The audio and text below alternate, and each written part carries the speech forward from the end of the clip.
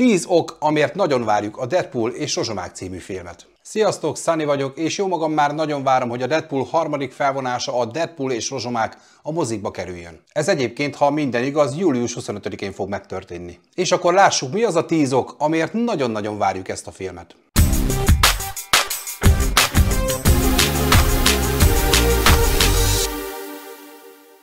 Mert végre feltámaszthatja a Marvel univerzumát. Lássuk be, a Marvel mozis univerzuma élt már meg szebb időszakot is. A végtelen háború és a végjáték filmek által lezárt harmadik fázis óta igencsak komoly mélyrepülés indult meg a Marvel házatáján, mind a minőség, mind a filmek sztoria tekintetében. Igen, tudom, hogy hivatalosan a Pókember idegenben zárt el a harmadik fázis, de ne egy már. Bár a negyedikben még voltak kiemelkedőbb darabok legalábbis számomra, de az ötödik fázisban azért vannak megkérdőjelezhető filmek.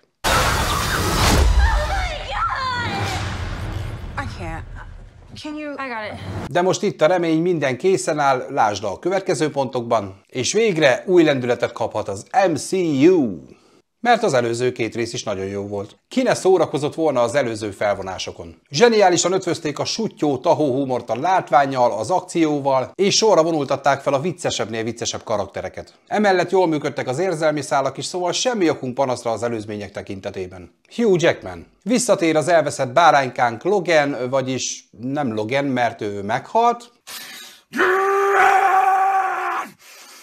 De hála a multiverzum csodáinak ismét megjelenik a farkas. Akarom mondani rozsomák? Mert igen, itt már az igazi nevét kapja a hős, és végre a képregényben megismert eredeti szerkóiban feszíthet. A jelek szerint más variánsa is megjelennek a filmben, ez is érdekes szálak forrása lehet. Szóval éljen Hugh Jackman, mi már vártuk. Mert ez lesz a Disney Marvel első R-rated besorolású filmje. Az előző Deadpool filmek is elrétít besorolást kaptak, ami Amerikában azt jelenti, hogy 17 éven aluliak csak felnőtt kísérettel nézhetik meg, itthon pedig ez a 18-as vagy enyhébb esetben a 16-os besorolás. Az első és a második rész nem képezte a Marvel mozis univerzumának a részét jogi procedúrák miatt, de ez azóta elhárult, így ténylegesen megérkezik az MCU első ténylegesen felnőttek szólófilmje. Ez azt jelenti, hogy mehet a káromkodás ezerrel, villanhatnak a cicik, mondjuk nem mindegy ki. I didn't say they're real. They're not real! Szóval gyerekek, egyeben, ha megnézitek. Nem szabad. Mert imádtam a Loki sorozatot, és a TVA debütál a mozivásznon is. Biztosan sokan láttátok a fent említett szériát, így tudjátok, hogy mi is az a TVA, azaz a téridő variancia alapítvány. Ha az idővonalon nem kívánt leágazások keletkeznek valami időutazós hekkelésnek köszönhetően, ők nemes egyszerűséggel lenyesik, hogy egyensúlyt tartsanak a szent idővonalon. Ennek a feje volt Kang a hódító, de spoiler, a második évad végén Loki vette át a szerepét teljesen pozitív karakterként, de vajon ez így is marad? Lokit ismerve bármi megtörténhet. Egy csomó visszatérő és új ismert karakter tűnhet fel benne. Már az előző két etap is vonultatott fel ismert vagy kevésbé ismert karaktereket főként az X-Men univerzumából, viszont jogi problémák miatt elég nagyok voltak a korlátok. Ezek az akadályok viszont elhárultak, így a harmadik részre bárki megérkezhet a csapatból, ahogy a Marvelek stábista utáni jelenete is ezt sugalja. Találgatások szerint feltűnhet Daredevil, Elektra, a Szellemlovas, Loki az előzőekben tárgyaltak miatt nyilván. Sőt, azt plegykálják, hogy maga Taylor Swift is esélyes egy kis szerepre. Persze remélem, hogy nem esnek túlzásba a túlzott idegen karakter használattal, és nem fog a fő sztori rovására menni. Utalás a New Yorki csatára a bosszúállókból, ami ismét egy érdekes szállat hozhat be a történetbe.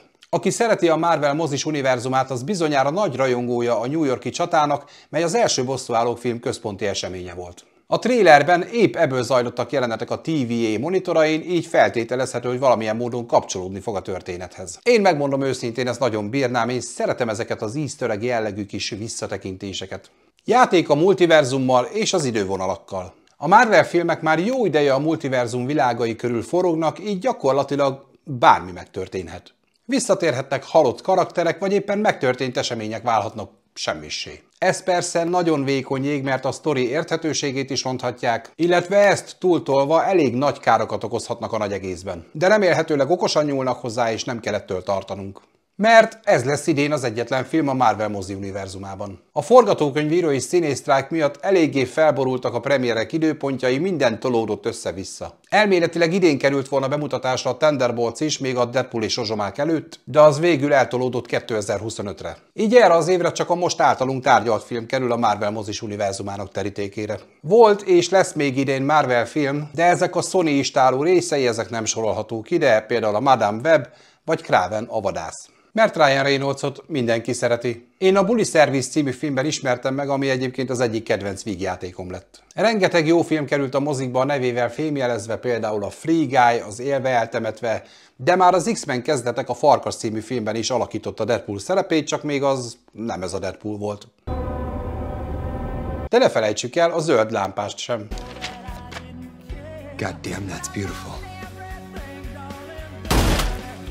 Egyedi humorával és játékával komoly mélységeket tud szerepeibe vinni, és semmi kétségem afelől, hogy a harmadik Deadpool filmben sem fogunk benne csalódni. És tök jó fej volt, még régebben nekünk is csinált egy reklámot. Na, sze szevasztok! Először is csinálok magamnak egy baszó koktélt, nézd... Ó, oh, meg, na mindegy. És megnézem a Sunniversum legújabb podcastjét. Imádom a srácokat, nagyon viccesek, sőt, feliratkoztam a YouTube csatornájukra is, ezt tedd meg te is, oké? Okay? Ez az a tíz ok, amiért én nagyon várom a Deadpool és Rozsomák című filmet a mozikba. Ha valamit még kihagytam, vagy neked még van valami ötleted, akkor kérlek írd meg kommentben. Ha nem szereted, vagy nem várod, azt is megírhatod. Ha tetszett a videó, kérlek nyomj egy lájkot, és ne felejtsd el megnyomni a feliratkozás gombot sem. Keres minket a többi platformon is, és hamarosan találkozunk a következő videóban. Legyen szép napotok!